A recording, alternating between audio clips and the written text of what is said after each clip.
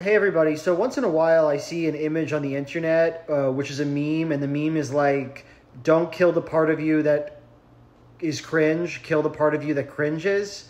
And I just wanted to argue and make an argument today that maybe instead you should um, kill the part um, that's cringe. And I want to say one good reason for that, which is like, what if you do something embarrassing? Like, what if you do something that that that makes you feel embarrassed, then you don't you don't want to you don't want to do that.